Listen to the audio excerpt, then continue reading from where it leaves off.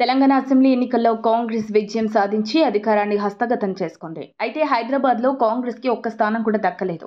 Greater హైదరాబాద్లో అత్యధిక సీట్లు గులాబీ పార్టీ గెలుచుకుంది. అయితే ఆ పార్టీలో కొందరు నేతలు హస్తం వైపు చూస్తున్నట్టు తెలుస్తోంది. కాంగ్రెస్లో చేరితే మంచిదని భావిస్తున్న కొందరు గులాబీ కాంగ్రెస్ నేతలకు టచ్లో ఉన్నట్లు సమాచారం. బీఆర్ఎస్ పార్టీ టికెట్పై రెండోసారి గెలిచిన కొందరు ఎమ్మెల్యేలు కాంగ్రెస్లో చేరాలని భావిస్తున్నట్లు సమాచారం. అయితే కాంగ్రెస్ నేతలు ఆహ్వానిస్తేనే విలువ ఉంటుందని భావిస్తున్నట్టు సమాచారం.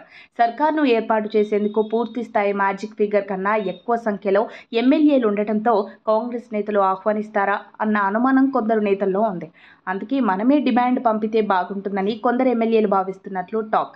ఇప్పటికే ఓ మాజీ మంత్రి కాంగ్రెస్ కీలక నేతలకు టచ్లోకి వెళ్ళినట్లు చర్చ జరుగుతోంది. నగరంలో మొత్తం పదిహేను అసెంబ్లీ సీట్లుండగా రాష్ట్ర వ్యాప్తంగా మెజార్టీ సీట్లను గెలుచుకున్న కాంగ్రెస్ పార్టీ ఇక్కడ ఒక్క స్థానాన్ని కూడా దక్కించుకోలేకపోయింది. మొత్తం సీట్లలో ఏడు బీఆర్ఎస్ గెలుచుకోగా మరో ఏడు మజ్లీస్ పార్టీ కైవసం చేసుకోగా ఒక అసెంబ్లీ సెగ్మెంట్లో బీజేపీ గెలిచింది. ఇటు రాజధాని నగరంలోని ఒక్క సీటు లేని కాంగ్రెస్ ప్రభుత్వాన్ని ఏర్పాటు చేసే దిశగా ప్రయత్నాలు చేస్తూనే రాజధానిలో ఎమ్మెల్యేలు ఉంటే బాగుండునన్న అభిప్రాయం కొందరు కాంగ్రెస్ నేతలు చర్చించుకున్నట్లు సమాచారం. ఇప్పుడు కాకపోయినా సర్కార్ ఏర్పాటు చేసి ఏప్రిల్లో జరగనున్న పార్లమెంటు ఎన్నికల నాటికి బీఆర్ఎస్ ఎమ్మెల్యేలను తమ పార్టీలోకి చేర్చుకునేందుకు కాంగ్రెస్ వ్యూహరచన చేసే అవకాశం ఉన్నట్లు రాజకీయ నిపుణులు అభిప్రాయపడుతున్నారు.